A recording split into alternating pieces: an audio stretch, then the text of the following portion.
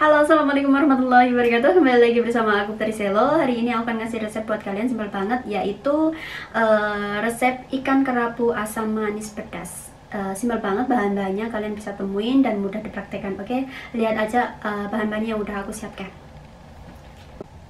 Bahan-bahannya ada uh, ikan kerapu ya yang udah aku cuci dan udah aku keringin terus uh, ada bawang merah, bawang putih, cabai, tomat. Nanti ini dicincang uh, kecil-kecil semuanya. Terus ada lemon. Ini nanti lemonnya diiris uh, tiga slice. Terus ini uh, nanas ya nanas uh, kalengan jadi aku nanti akan iris kecil-kecil juga. Cuma ini bahan-bahannya simpel banget dan sekarang kita mulai masak pastinya jangan lupa like, comment, dan subscribe channel aku ya supaya aku lebih support lagi, lebih semangat lagi karena kalian adalah uh, penyemangat buat aku untuk bikin-bikin uh, masakan atau konten lainnya. Makasih. Nah ini uh, semuanya udah aku uh, cincang semuanya ya. Nah sekarang kita, kita mulai masak. Nah panaskan wajan kita taruh minyak ya.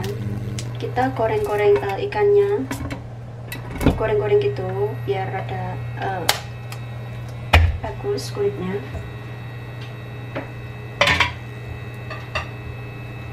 Ini semua udah aku siapin.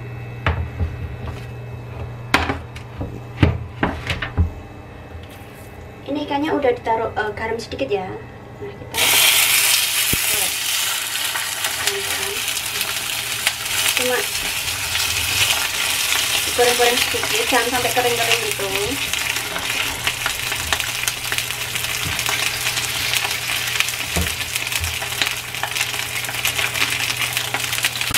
Nah kalau udah seperti ini goreng setengah matang kayak gini kita langsung aja masukkan sebelahnya ya nggak usah nunggu ikannya diangkat. Bawang merah bawang putihnya di sebelah sebelah sini samping sampingnya. Cabenya juga pokoknya semuanya ya barang-barangnya ini. Simple ya jadi uh, masaknya tuh sekalian gitu. Nggak usah nunggu sampai kita kering ya. Nah seperti ini. Kita aduk-aduk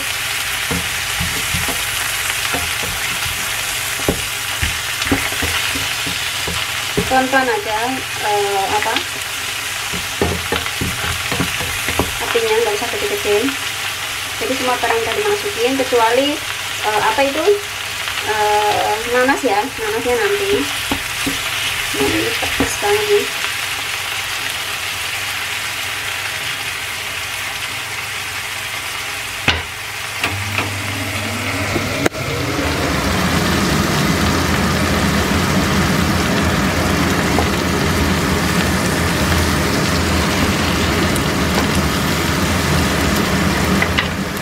kalau udah gitu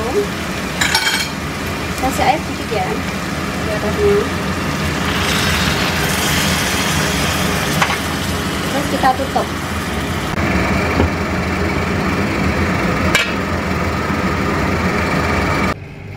Nah kita tambahkan bumbu ya. Nah seperti ini jadinya.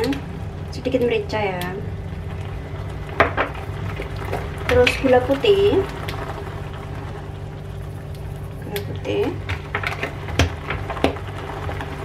uh, kita tambahkan sedikit kecap ya. Kecap manis sedikit aja. Oke biar ada sedikit warna-warna kita wah ini ini tadi gorengnya nggak terlalu garing ya karena aku pengennya yang seger ya. Jadi ini seger banget. Oh my god nendang cah Uyuh, sambelnya, uyuh, uyuh, uyuh.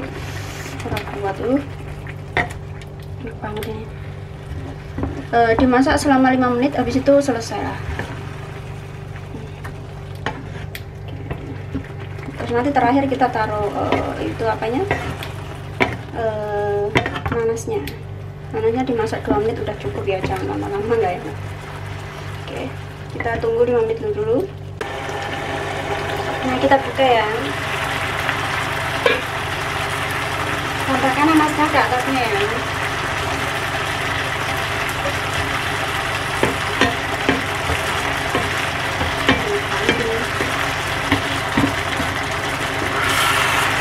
matang ini tinggal kita angkat. Nih mantep sambal rek super pedes pedes pedes uh. Nendang teman nggak kuat aku. Masak nasi sih nah ini udah matang. Kita siapkan. Ya Allah udah jadi ini. Kelenger tenan cah lombok eh aduh terus pokoknya raketok sampai rupanya raketok iwa ya. Pedes pokoknya pedes kecut aduh nanti yang yakin asli. Rakuat aku saya kita maam sih cah. Aduh aduh aduh aduh aduh, aduh. pedes lagi oh. My god oh my god